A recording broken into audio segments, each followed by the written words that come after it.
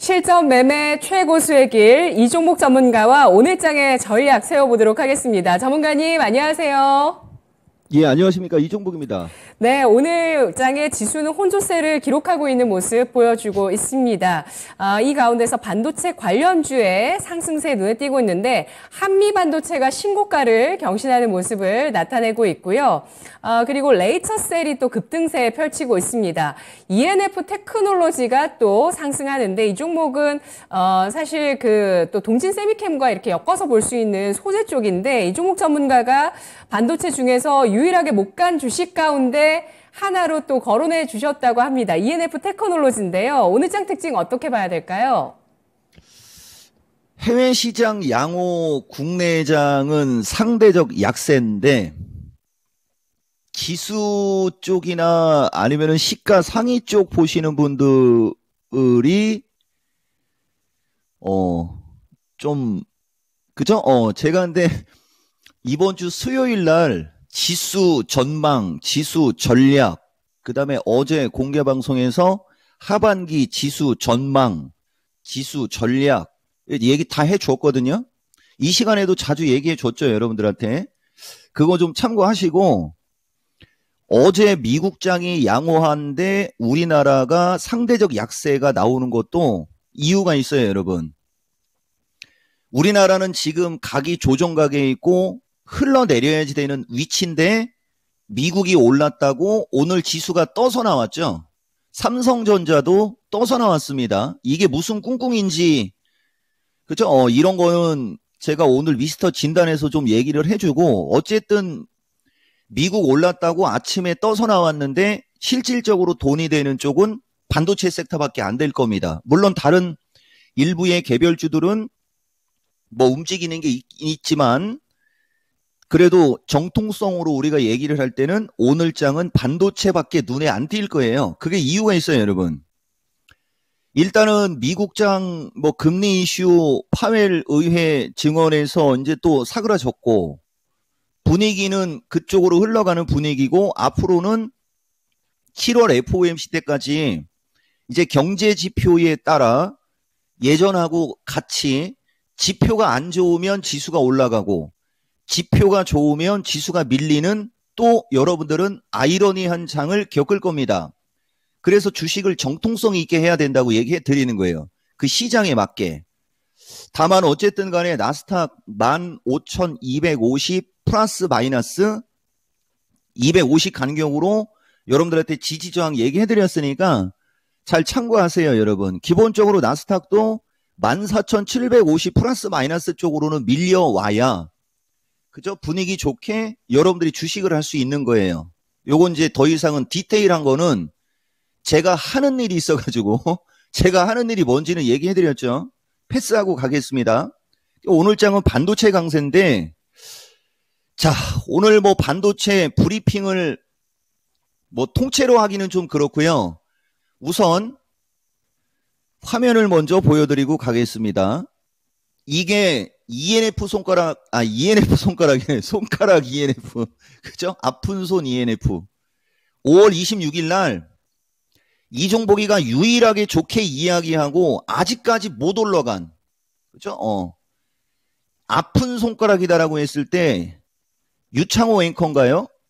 전문가가 저런 소리 하기 어려운데, 그죠? 예. 그렇게 얘기했던 주식입니다. 이, 이거는 중요한 거는 5월 26일 이 주식이 2만 2, 3천 원대라는 게 중요한 거예요, 여러분. 근데 뭐라고 했느냐? 나는 아직도 장기로도 좋고 단기로도 좋고 다 좋다라고 볼 수 있습니다가 아니고 봄니다라고 한 주식이 ENF인데요. 차트를 한번 볼게요, 여러분. 241선 언저리에서 횡보하다가 거래 실으면서 뚫고 가죠. 제가 요, 요새 여러분들한테 추세 패턴의 중요성이라는 걸 세 번을 강조했지 않습니까? 자, 엊그저께 원익이가 요런, 아니, 원익 머트리, 원익 머트리가 고런 차트에서 급등. 요거 눌림목입니다. 원익 머트리는. 요런 게 이제 실시간으로 알아들었을 때 여러분들이 좋은 결과가 얻을 수 있는 거예요. 어쨌든 눌림목, 그 다음에 STI, 그것도 241선에서 날라갔고요. 그 다음에 그 TFE, TSE 이제 이 종목이 더 헷갈려요. 241선 뚫으면서 날아갔죠. 패턴이 똑같이 생겼죠, 여러분. 그리고 심지어는 어제 코롱 그죠? 인더도 241선 밑에서 있다가 날아갔고 다시 ENF 241선 뚫고 가고 이거 이제 이 종목 말이 현실 될 것 같습니다. 딱 얘기해 드릴게요. 추격 매수 하지 마세요. 2023년 연말 기준으로 갔을 때 27,500원 이상은 무조건 올라간다. 이렇게 얘기했던 주식입니다. 언제? 그냥 여기에 있을 때, 이쪽에 있을 때, 주식시장 약세장에 있을 때 이렇게 얘기해드리고 요 패턴이 중요해서 여러분들한테 한마디 했, 했던 거고요. 그 다음에 한미반도체가 또 올라가는데 요것은 가지고 있는 사람이 영역이고 신규 매수하시면 안 됩니다. 가게 되면은 3만 4천 원대까지도 갈 수는 있지만 그거 먹겠다고 여기서 매수하시면 안 돼요. 패턴 자체가 상승 쐐기형입니다. 다만 밀리면 한번 공략해 볼 만하고 이게 HBM이지 않습니까? 반도체 섹터 때문에 이런 얘기 드리는 거예요. 어쨌든 움직임이 양호하고 그다음에 이제 이종복이가 여러분들한테 좋게 얘기했던 주식은 상대적으로 주성이는 과가 다른 과입니다. 뭐 나쁘지 않고 이것도 막 올라갈 때는 추격 매수 하시지 마시고요. 그래서 전체적으로 반도체 섹터를 이렇게 얘기한 것은 여러분들한테 이종복이가 여기 보면 2분기 핵심 주도주 해가지고 어, 언제 방송이냐면 이게 6월 5일 방송이에요, 여러분. 6월 5일 방송에 섹타 구분을 잘하면 수익은 저절로라고 하는 이 말이 있지 않습니까? 이게 지금도 계속 이어지는 거예요, 여러분. 이달 말까지는. 그리고 섹타를 반도체를 어떻게 구분을 했느냐? HBM서부터 이렇게 구분을 해드렸죠? 이렇게. HBM, EUV, PCB, 삼성 지분 이런 식으로 나눠 놓으셔야 돼요. 제가 어제 공개 방송할 때도 지수 얘기하면서 그런 얘기 한번 했었는데 요새 제가 여러분들한테 특히 정말 디테일하게 해주는 것은 여러분들의 호응 때문에 디테일하게 해주는데 이종복은 주식이 정해져 있다라는 거 여러분들한테 그 얘기 해주고 남편이 잘나면 와이프가 그죠? 어, 소외해봤죠, 여러분? 예. 그런 게 있어가지고 앞으로도 저는 초성으로는 얘기해 드릴게요. 초성으로는 얘기해 드리는데 이제 단도직입적으로 종목 얘기하기에는 가면 갈수록 쉽지는 않으니까 지속적인 열광, 그죠? 예, 호응 나와야 됩니다. 그리고 내가 아까 남편이 잘나면 와이프 얘기했는데 내 진짜 와이프 말고 그쵸? 예, 그거 못 알아듣는 사람 얘기해도 돼요? 단어 써도 돼요? 어. 사실 제 방송 듣는 분들이 많이 있잖아요. 그분들이 좀 섭섭하죠, 여러분. 공짜로 그냥 다 퍼주고 그러니까. 대신 초성으로는 얘기해 드릴게요. 설마 뭐 방송에서 이종복이가 와이프를 진짜 와이프로 얘기하겠습니까? 얘기하려면 손자를 얘기하지. 자, 패스하고 주성이하고 동지는 과가 다른 과고요. 그래서 여기 하나만 보여드리면 이렇게 이종복은 섹터를 구분해 놓거든요. 지금 최근에 날라간 것이 이게 프로텍이 여러분들은 모르지만 이 종목이가 그죠? 예, 되게 좋게 얘기했던 주식이고 레이저 날라가지 않습니까? 레이저 날라갈 때 여러분들한테 했던 얘기가 레이저 우리나라 레이저 최고는 이오 테크닉스라고 얘기했고요. 그거 지금 이오 테크닉스도 신규 매수 자리는 좀 어려워요. 그리고 LAB 장비 그죠? 예, 그 LAB 장비가 bonding wire라고 해갖고 얘기한 MK 전자가 있고요. 보시면 여기 이제 테크윙 유니 테스트 정도만 한 코멘트를 드리고 갈게요. 그리고 예전에 소형주 엑시콘도 여기에 들어있는 주식이었어요, 여러분. 엑시콘 그 소형주라 내가 세게 얘기 못한다고 하면서 지오 엘리먼트 얘기할 때 했던 그 주식도 여기 과거든요. 그러면 테크윙을 보시면 이건 특징이에요. 테크윙은 날라가죠. 거래가 실리면서 이 주식도 실적이 그렇게 어마무시하게 좋은 건 아니었어요. 근데 이 주식의 여기를 보셔야 됩니다. 여기를. 240에서 언저리까지 갔다가 다시 흘러내리고 모양을 만들다가 올라가고 있지 않습니까? 이 주식은. 이 주식은 급등인데 유니 테스트라는 주식을 보시면 이건 아직 가지를 못했거든요. 근데 유닛 테스트는 구찌가 있는데 이 주식은 실적을 내놔야 되는 주식이에요. 실적을 내놔야 되는 주식인데 실적을 못 내놓으니까 못 간 거고요. 이런 거 여러분들이 좀 알고 있어야 됩니다. 그러니까 섹터 구분을 하고 추세 패턴을 보고 지금 움직임이 양호한 것은 지수가 어느 정도 부담을 주고 있으니까 정상적이고 정통적인 주식보다는 약간 개별주성, 약간 누군가 애들이 장난치기 좋은, 그죠? 예, 그런 주식들이 움직임이 좋다는 얘기고 그런 주식을 따라댕기지는 말고 오히려 정통성이 있는 주식을 저점에서 노리는 게 좋다. 요 얘기 해드린 거예요. 그리고 오늘은 반도체 특집 해갖고 얘기하면 되겠네요. 썸네일을. 조회수가 안 나오더라도. 이 내용은 실시간으로는 불가능한 내용을 지금 하고 있어요, 여러분. 동진이는 또 과가 다른 과예요, 여러분. 이 주식은 차트가 아까 걔들은 역배열에서 241선을 뚫고 가면서 움직이는 그런 패턴들이었지 않습니까? 동진이는 박스권에서 움직이는 주식이에요. 그리고 지금 중심을 딱 잘라 놓으면 박스권 상단에서 부딪히고 흐르고 있는 거고 61선이 밑에서 올려놓고 가고 있죠. 이런 게 저점 분할 매수, 3분할 매수하면 안 깨진다라고 하는 거고요. 주성이는 거래가 유, 유입되면서 움직여야 세게 갈 수 있는 주식이고요. 따라가면 안 되고요. 뭐 요런 여러분들한테 설명해 드린 겁니다. 그리고 나머지 종목은 날라가 갖고 도저히 불가능하고 어, 여러분들한테 참여가 좋으면 초성으로 이야기하겠다고 했던 주식이 지금 이야기했던 주식들 중에 두 개가 포함됐거든요. 여러분들이 그런 건 찾기 바라고 이제 진짜 세 종목 남았는데 일평균 거래량이 10만 주도 안 됩니다. 그래서 직접적으로 얘기하기는 좀 그렇다까지 말씀드리겠습니다. 네. 아, 원래 호응과 열광이 나와야 나가는 건데, 이게, 아, 정말 밀당의 귀재십니다. 이종욱 전문가님은 그 와중에 이게 좀 나가다가 말다가 여러분들이 찾아보셔야 되고요. 또 열광 호응을 해주신다면 더 구체적으로 여러분께 또 어, 초성으로 말씀드리니까 오늘 또 미스터 진단 얼마나 뜨거울지 저는 또 벌써부터 기다려지는데요. 오늘 장의 투자 전략 세워보겠습니다. 이종목 전문가님. 예, 뭐, 한수또 받고 얘기 들어가면 이종복이가 LJB지 않습니까? 이종복 이름이 LJB. 거기서 영어 하나를 그냥 뭐 앞에 걸 빼지 말고 그죠? 어.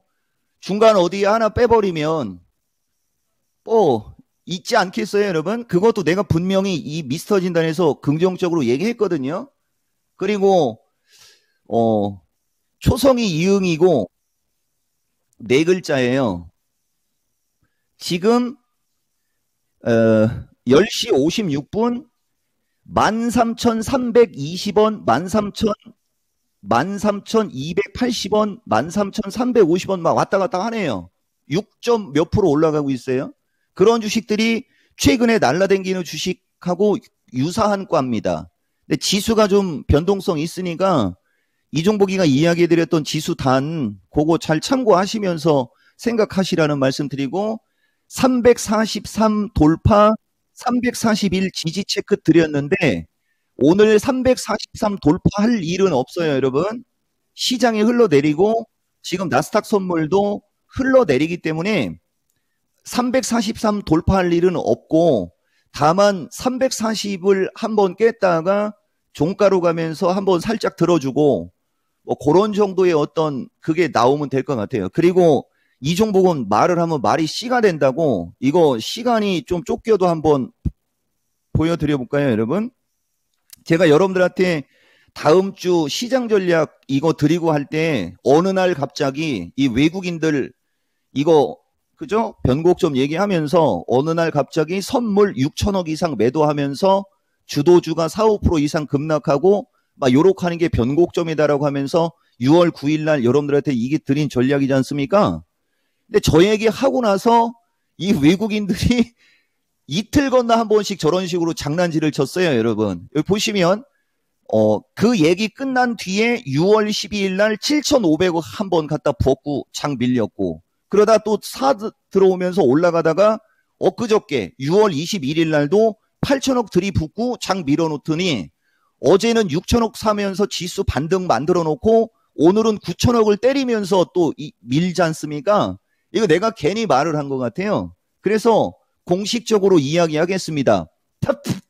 취소시킬게요, 여러분. 얘네들이 하도 따라 해가지고, 그죠? 예. 이거 갖고 지금 장난치는 겁니다. 외국인들이 지금 할 게 없지 않습니까? 주식은 이미 살 만큼 사놨고, 주식은 지금 차익 실현을 하고 있잖아요? 그러니까 선물 가지고 장난치면서 변동성을 유발하는 거기 때문에 여러분들이 이런 거를 좀 체크를 좀 하셔야 돼요. 그리고 종합은 제가 여러분들한테 누차 얘기했지만 337 수준이 한번 또 지지권의 역할을 할 거지만은 333 수준 언저리 정도는 와야 어느 정도 여러분들이 안정적인 대응이 될 수 있다는 얘기도 해드린 거 기억하셔야 돼요. 카트. 자, 포트폴리오 조정 기회입니다.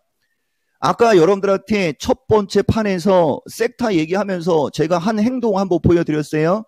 섹타 구분을 잘 해가지고 반도체 두세 종목, 그 다음에 2차 전지 배터리 두 종목 정도, 그 중에 하나는 정통성이 있는 포철 쪽이나 아니면 뭐 에코프로 그룹이든 LNF 쪽이든 그 정통성이 있는 굵은 주식 하나 하고, 그 다음에 전구체 전해행 막 이런 제가 구분해서 알려드리는 거 있지 않습니까? 그런 거 한두 개 하면 반도체하고 2차 전지만 해도 4개에서 6 종목이 나와요, 여러분. 주식이 많다는 얘기죠. 그리고 에너지, 인공지능, 그 다음에 로봇 제약, 이렇게만 하면은 뭐 다른 주식 굳이 찾아댕길 필요 없어요. 그런 식으로 하면 수익이 나는 겁니다. 그리고 여기 지금 보면 어제, 어제는 암호그린이 눌리더니 오늘은 또 암호그린이 올라가고요. 엊그저께까지 하나 기술이 올라가더니 오늘은 하나 기술이 눌리고 막 이러지 않습니까? 이런 거 잘 봐가면서 대응하시라는 말씀 드리겠습니다. 네, 우리 채팅창에서 정말 또 많은 글 올라오고 있고 연희미니 파파님께서 슈퍼챗도 주셨습니다. 감사합니다. 그리고 제이님께서 다시 듣기 무한 반복이라고 하셨는데요. 댓글 잊지 마시고요. 네, 호응은 거기서 나옵니다. 댓글 좋아요에서 나오니까 모든 영상에 다 부탁드리고요. 또 보성파워텍님이 이종복이 형 최고. 롬버스님께서 찾는 재미 솔솔이라고 하셨네요. 이종복 전문가님 고맙습니다. 예, 고맙습니다. 이종복입니다. 네, 실전 매매 최고수의 길 마켓 10에서 함께 해주시고 계시는 이종목 전문가 미스터 진단에서 오늘 또 여러분 찾아갑니다. 오늘 저녁 9시부터 2시간까지 진행되는 진단 프로그램이죠. 미스터 진단. 지금부터 저희 전화 받을게요. 0221283388번 전화 주셔서 종목 신청해 주시면 오늘 밤에 진단 받으실 수 있습니다. 이건 창호 앵커와 함께 밤 9시부터 2시간 동안 진행됩니다. 지금까지 투자 판단에 도움되는 되는 내용들 전해드렸습니다. 다만 주가의 상승과 하락을 보장하지 않는다는 점 잊지 마세요. 마켓텐 다음 주에 뵙겠습니다. 고맙습니다.